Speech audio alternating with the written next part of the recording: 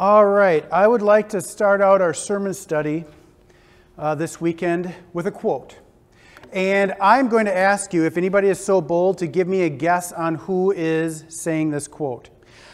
Remember back two weeks ago, I gave you a top 10, actually, it was a top 20 list of the smartest people to ever live as per uh, the toplist.com. In there was Solomon at 15. In there was our Lord Jesus Christ and His holiness at 12. And I'll give you a clue as to who said this. This man, it's a man, is number four on that list. If you want to throw out a guess after I read it, uh, I'd be happy to hear it. I won't embarrass you. But here is, the here is his quote I reached the pinnacle of success in the business world. In others' eyes, my life was an epitome of success. However, aside from my work, I had little joy. In the end, wealth is, the only, is only a fact of life that I am accustomed to.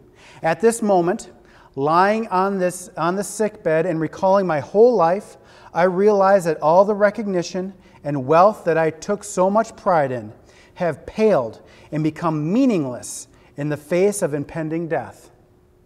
In the darkness, I look at the green lights from the life support machines and hear the humming mechanical sounds. I can feel the breath of God of death drawing near, drawing closer. Nonstop pursuing of wealth will only turn a person into a twisted being just like me.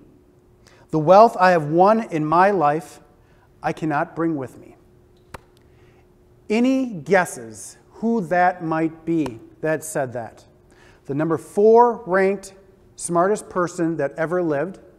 Of course, that of course is uh, number fourth ranked, and of course our Lord Jesus uh, was 12, so take this with a grain of salt. But the number four, any ideas? No? Sorry? Exactly. Steve Jobs. An interviewer went to his deathbed where he said uh, he is at this moment and asked him how he looked back on his life. And these were his words. Steve Jobs, if you have a Apple phone, it was because of Steve Jobs. If you have an Apple computer, it's because of Steve Jobs. If you have a small phone, even if it's not an Apple, you can thank Steve Jobs, amongst other things that he invested in, amongst other things that he did. He was a billionaire. He did so many things, accomplished so many dreams, and yet you look back and you realize uh, he is saying a lot of the things that Solomon said. He said that, you know what, it is meaningless. All the work he did was meaningless in the face of impending death. Looking back, all this work, all the things that he did made him into, what did he say? A twisted being. You know, I wouldn't have, uh, I wouldn't have looked down on you if you would have guessed that this indeed was Solomon. Because Solomon, like we saw last week, had accomplished many things. Solomon was one that built temples, and he built um, courthouses, and he built uh, orchards, and he built many things. He accomplished many things. Solomon also earned a lot of money, not just by taxes, but by investing in things. So Solomon not only put things and did things, but Solomon also became very, very rich. And that's what we need to hear this weekend because we're going to talk about work. And here in America, work is tied to us. One of the things that make us into a good person is that they are known as a hard worker. We live in a world where we have tied ourselves, our value, usually to our jobs. Remember when these were invented by Steve Jobs? These were invented with the idea that once we have all this technology, we'll be able to do so much more. And since we can do so much more, we can now go down to a four day week, a four day work week. Just think of how ridiculous that sounds. Imagine going to your job next week and all they expect from you is a four day work week.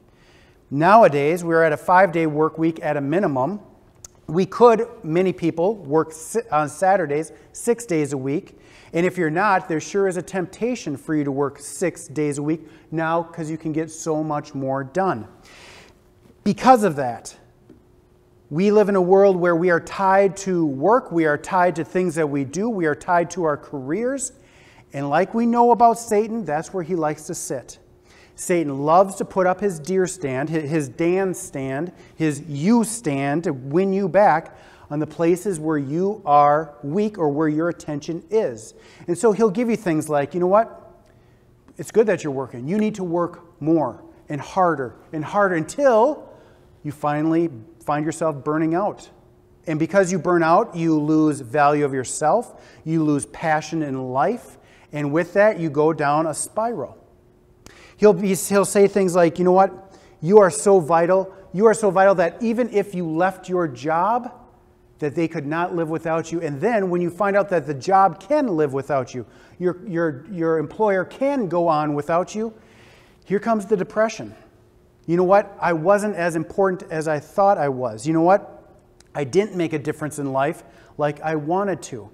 And how many times have you met someone that after they've retired, they look back on their life and they say, All those years, my prime years were spent working my prime time was not spent with my family. It wasn't spent at church. It wasn't spent with my wife or husband. It wasn't spent doing things I wanted to do. I was tied to my work, and all my prime years are now behind me. And Satan loves that. He would love us to have the wrong idea of work. And so it's great that we listen to Steve Jobs, and that's a great quote, but we need to listen to our Lord because he's the one that invented work and He is the one that can show us how to have a healthy blend and healthy balance when it comes to work. So, with that, let's turn our attention now to Ecclesiastes. I'm going to go get our stool here. We're going to go to Ecclesiastes chapter 2. And this is what Solomon said about work. This is what he had to say looking back on his life. Because remember, he has accomplished many things in his life. He has done many things, he has built many things, he has become very, very rich. Looking back now, he has things to teach us because the one thing about Solomon is that he is wise. He was given wisdom beyond understanding that we can even fathom. And with that, the Lord gave him wisdom now to teach us. So here is old man Solomon, gray haired Solomon, guide Solomon to teach us and have a healthy understanding when it comes to work. This is what he writes to us about work. Looking back, the, our guide Solomon says, I hated life because the work that is done under the sun was grievous to me. All of it is meaningless. All the work, he says, that I did, meaningless, chasing after the wind. I hated all the things I had toiled for under the sun because I must leave them to the one who comes after me. So the first thing he realizes is I'm working, and there's going to be a day when someone's going to take my job. Even Solomon realized that someday someone else is going to be king, someone else is going to be judge, someone else is going to be the architect, someone else is going to have all my wealth. I can't take it with me, Steve Jobs would say, and Solomon would agree. And who knows, verse 19, who knows um, whether he will be a wise man or a fool? I, I don't know who's going to be the next person. I'm going to be gone. Yet, he will have control over all the work into which I have poured my effort and skill under the sun. This too is meaningless. Like we have been learning from Solomon, without God, work is meaningless. Without God, accomplishments are meaningless. Without God, you are working for the man, and then you start to burn out, and you start to have all these problems and depression because all of our adjustments are wrong. We're working hard, Solomon would say, but, but for what? What's the point? What's the meaning without God in the picture? Verse 20. So my heart began to despair over my toilsome labor under the sun. You know, it, it, it's great. Solomon even says, You know, I'm realizing I'm doing this for nothing. Uh, who cares if I built a temple? Really? Who cares if I built a, a judge's seat? Who cares if I built a living quarters better than anything in the world? At the end of the day, as I'm dying, who cares? For a man may, may do his work with wisdom, knowledge, and skill, and then he must leave all he owns to someone who has not worked for it. This too is meaningless and a great misfortune. What does a man get for all the toil and anxious striving with which he labors under the sun? All his days, his work is pain and grief. Even at night, his mind does not rest. This too is meaningless. A man can do nothing better than to eat and drink and find satisfaction in his work. He's telling us without God, all I do is I get up and I work, and someday I'll give it to someone else. And then I go home and I eat and I try to find enjoyment, and I just repeat. This is how Solomon says, I'm finding my life, and it is meaningless. And Steve Jobs would say, Amen it is all meaningless. As I'm looking at those green lights trying to keep me alive, I'm realizing I can't take it with me, it is all for nothing. Okay? So, what's the answer? Solomon tells us what the answer is. This, too, I see, work he's talking about, work is from the hand of God. There's his aha moment. God is the one that invented work. God is the one that gave us things to do. God didn't give us things to do because of sin. He gave us things to do even before Adam and Eve fell into sin. So he likes it, and we can worship him by working. So he realizes work is from the hand of God, for without him, who can eat or find enjoyment? To the man who pleases God, he gives him wisdom and knowledge and, and happiness.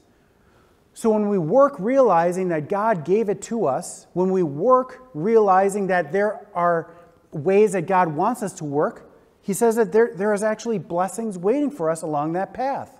When we go in there with clear eyes, realizing what work is, there are real blessings waiting for us. But to the sinner, he gives the task of gathering and storing up wealth to hand it over to the one who pleases God. This too is meaningless, a chasing after the wind. Okay, let's transition this to us today. What does God, what does Solomon, what does God through Solomon want us to know in 2021? What does he want you to carry for many of us when we go back to our jobs tomorrow or next week or, or whenever that would be? First off, like Solomon said, work is not bad, right? Work is a blessing from God. Mismanagement of work is bad, just like alcohol isn't bad mismanagement of alcohol is bad, just like drugs are not bad. Taking them in wrong doses, taking them illegally is bad. Anger is not bad. Having it be who defines you and having it be so that you can bully people and, and uh, make people uh, feel low and not lead out of love, that's, that's bad. So, work in itself is not bad, but if we find ourselves mismanaging it and mismanaging our life, then it is bad. How do we do that? Well, let's find out.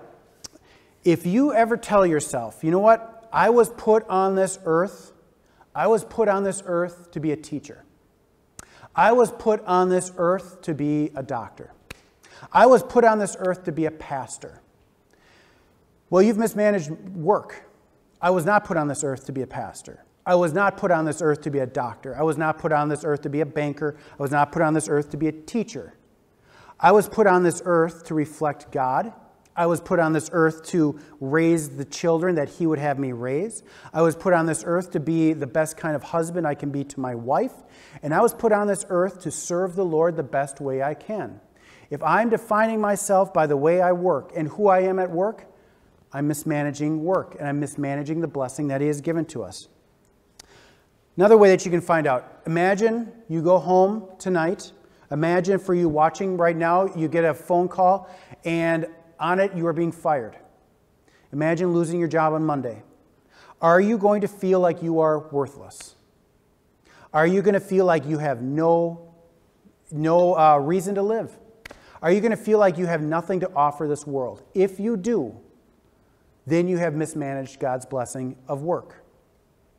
If you put entire yourself and your value to your career, you've mismanaged work. If you have put everything into your work, well, let's hear what Jesus would say. Our Lord Jesus would tell us this If you have put everything into your work, if you put your security into your work, if you put your happiness into your work, if you put your um, who you are and your being into your work, our Lord Jesus would tell you this You're a fool. You fool, this very night your life will be demanded from you. Then who will, who will get what you have prepared for yourself. Jesus is reminding us is there's something bigger that we have to look forward to and it's not the next raise, it is not the next promotion. It is the fact that we're going to have a face to face interview with our Lord someday. And like Steve Jobs tells us, you can't take your money with you, you can't take your trophies with you, you can't take your promotions with you.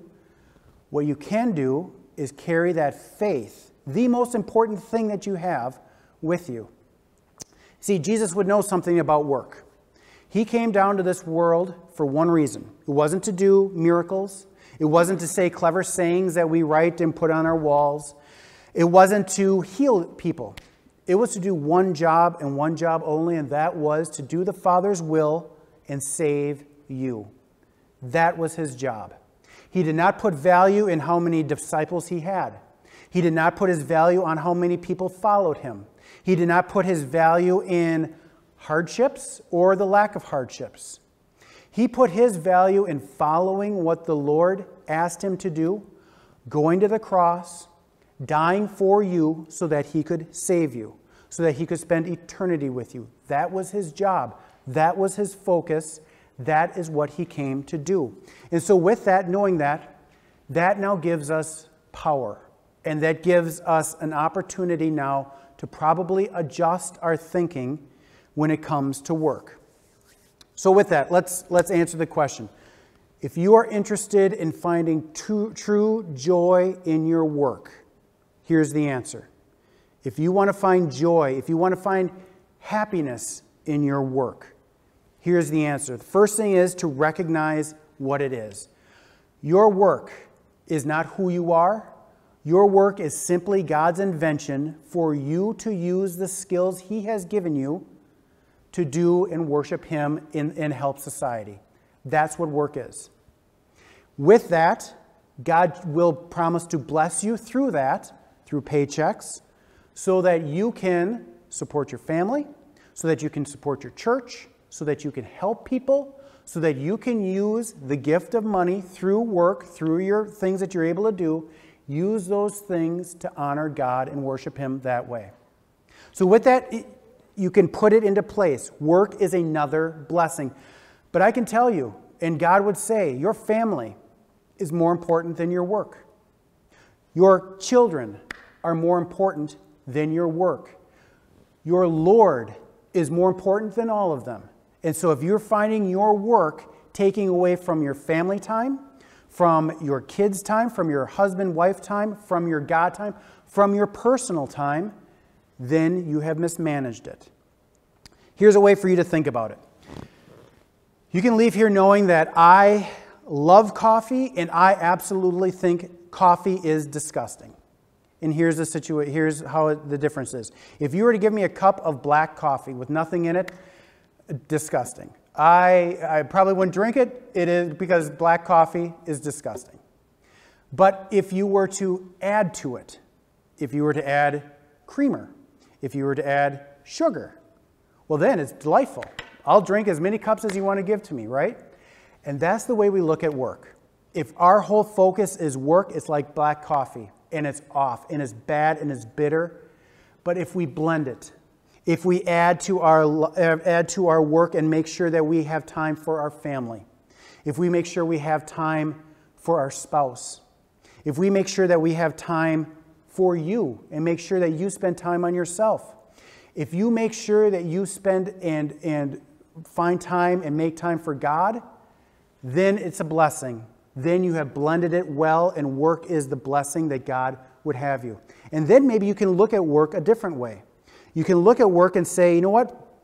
Not only can I use my abilities for my job, but I can use my abilities here at Hope. I can do things for my Lord. I can sign up for something, use my talents, and let her rip and do something amazing for the ministry and let God use me at work here at Hope. Or you can look at your job on this week and say, you know what? What if God put me in this place for a reason? What if this is my personal mission field?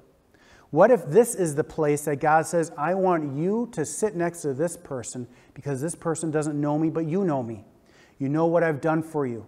And it's your now opportunity to let God reflect off of us into their lives, possibly change their lives, possibly change their eternities. These are things now that we can find out this week. How can God use us and use the blessing of work for us and also for our Lord. Amen.